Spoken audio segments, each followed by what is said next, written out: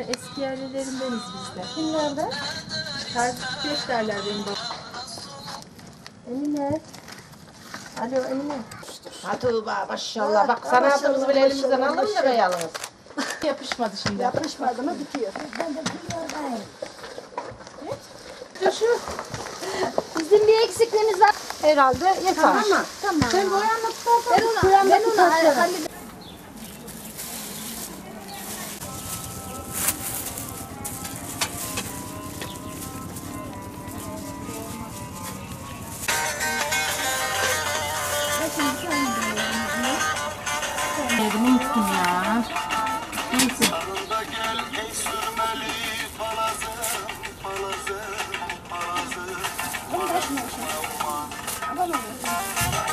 Basarken onlar da el mi şey yapsana?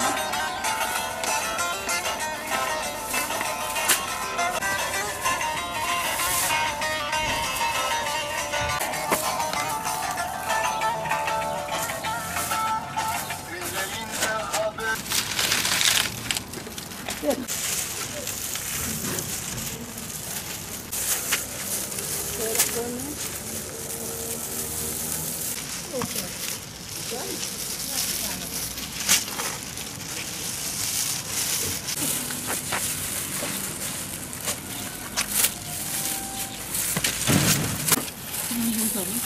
Bu arkası var. Tamam.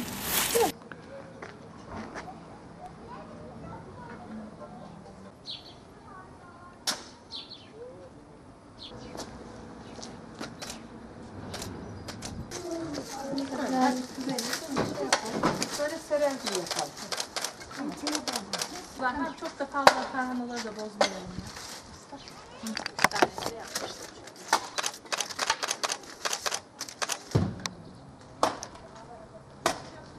80 senedir tarla yaparız.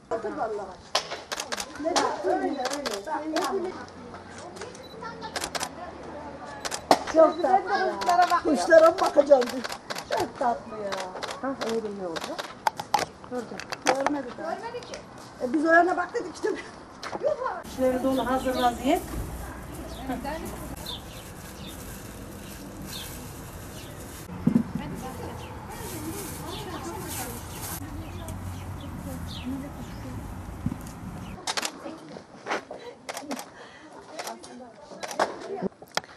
Bu tarhana bizim anneannelerimizden, babaannelerimizin, anneannelerimizin annelerinden çok yani ileri bir şeyden devam ediyor. Biz de onlardan gördüğümüz, benim de yaşım küçük değil 60, e, devam ettiriyoruz bunları. İsteyenlere yapıyoruz, kendimiz yapıyoruz. Yani çok güzel olmazsa olmazı Beyşehir'in. Köylükler civarlarının, köy civarlarının. Yani Beyşehir'in olmazsa olmazı. Bunu kışın, şimdi soba yok ama sobalı evlerde, köy yerlerinde e, sobanın fırınına atıyorlar. E, yağın içinde kızartıyorlar. E, fındıktır, fıstıktır, cevizdir onunla beraber kışın bir bilhassa kışın. Bu kış şeyi gibi yani bu. O yüzden bunu öyle yiyoruz yani. İki gün içinde kuruyor. Ama güneşin çok güzel olması lazım. Evet hava e, döndü, e, rüzgar oldu, e, duman toz oldu. Onu topluyoruz. Dev- ha, hava iyileştiğinde tekrar seriyoruz. İlla ki güzel kuruması lazım. Bekliyor ki kuş konmasın. Hani böyle bir yağmur yaş anında hemen müdahale edelim. O yüzden bekleniyor yani. Gelen geçen hısım akraba oluyor. Alın yiyin deniliyor. Hani kimse başında olmadı mı alamıyorlar. Hadi alın diye ikram ediliyor. Ondan bekliyorlar. Benim dayım var Kazakistan'dan geldi. Oraya ihracat edece- edecek bu tarnayı. Bu sene o da başladı. Kazakistan'a göndereceğim diye. Yani yaptıracak, şey yaptıracak, gönderecek. Yani illaki bunu yani Türk olan bir kişi hangi şeyde yurt dışında bu illaki bu tarlamız oralara gidiyor. Şey yapmayacak, kapatmamak suretiyle herkes evinin önünde bu çitler diyor. Bunlar bizim tarla çitlerimiz. Bunlar olmazsa olmaz. Gençler e, bilmiyor artık biz gibi hani anneden dededen anneanneden böyle görmeler devam ettiriyor, sürdürüyor. Ha benim çocuklarım bunu yapar mı? Yapmazlar. Hani bu kazanla, düzenle, böyle çitle, yoğurmayla asla yapmazlar. Ya- Bizler yani. Bu gelenek ileride yok olacak diye bir endişeniz var mı? Tabii ki var. Aslında çocuklarımıza bunu öğütlesek, bunları yapın, sürdürün desek daha güzel olur. Ee, Tarhananın yüzü bu arka tarafı. Bu ıslak. Bu yarın iyice kuruyacak. Bugün kuruyacak. Yarın da kuruyacak. Hava çok güzel. İki günde kuruyor. Konya'mızın, e, Beyşehir ilçemizin e, gastronomik değerler arasında oldukça önemli bir e, yere sahip olan e, şu anda da e, Çit'te bir başka adıyla Cığ'da serili olan tarhanalarımızı görüyoruz şu anda. Tarhana 1510'lu yıllarda Yavuz Sultan Selim Han Eşrefoğlu Bey'i, beyliğinin daha doğrusu Eşrefoğlu Beyliği'nin bu kıymetli topraklarında o dönemde Osmanlı Devleti'nde Sancak Bey olan Karlıoğlu Sinan Bey'den Mısır seferi için hem yanlarında taşıyabilecekleri hafif e, bir gıda olmasını hem de e, aynı zamanda bu hafif gıdanın çok iyi bir besleyiciliğe sahip olmasını, sefere giden askerlerin e, iyi bir şekilde tok tutulmasını ister ve bunun için bir gıda hazırlatmasını e, kendisine emreder. Böylelikle e, Beyşehir'imizin yöresel e, tarhanası zaten o dönemde de yapılmaktadır ve Karloğlu Sinan Bey de yine rivayetlere göre e, Sultan Hazretlerine bu şekilde yardımcı olur ve gerçekten de Beyşehir tarhanamız e, özellikle içerisinde yer alan e, yoğun, yağlı, güzel bir yoğurt. Onun içerisinde yine e, ürün dediğimiz, ürünlü olur, güzel ürünlü olur dediğimiz özellikle bolvedin tarzındaki bir buğday.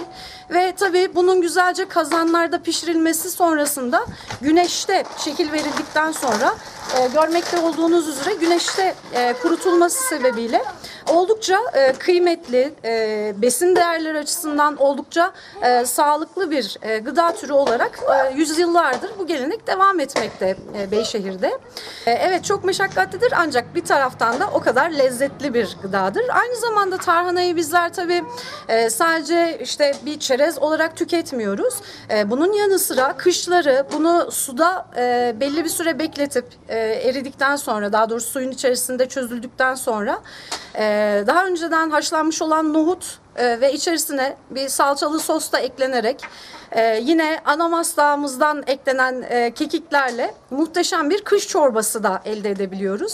Şimdi ilçemizde e, ziyarete gelen misafirler yerli ya da yabancı e, tabii tarihi Eşrefoğlu Mahallesi, İçerişehir Mahallesi'nde neredeyse artık şu anda yaz dönemi sebebiyle her evin önünde bir çit, bir cığ görmekteyiz üzerinde tarhanalarıyla.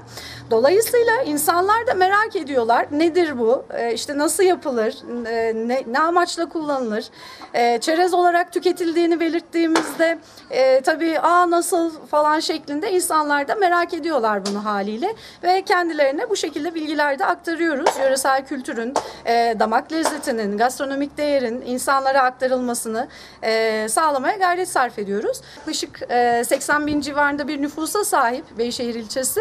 Lakin bunun neredeyse bir e, 4-5 katı kadarı da e, hem ülkemiz içerisinde farklı şehirlerde özellikle İzmir ilimizde e, Beyşehirler yoğunlukla yaşamaktalar. Onun yanı sıra bir de yurt dışında yaşayan Beyşehirli e, insanlarımız var. Özellikle Norveç'te e, yoğunlukla görmekteyiz. Almanya'da yine yoğunlukla görmekteyiz. Beyşehirli insanlar orada da birbirleriyle kaynaşık haldeler. Ama bu, bunun bir de şöyle bir detayı var. Şimdi gurbetçi kardeşlerimiz Beyşehir'e yazın ailelerini ziyarete geldiklerinde, sıla rahim yaptıklarında e, tabii olmazsa olmaz Beyşehir tarhanasını da yanlarında götürmek istiyorlar haliyle. Buradan da e, hem kendileri yaptırıp götürebiliyorlar hem de Beyşehir'den e, onlara kendilerine e, adreslerine gönderim sağlanabilmekte Beyşehir tarhanası.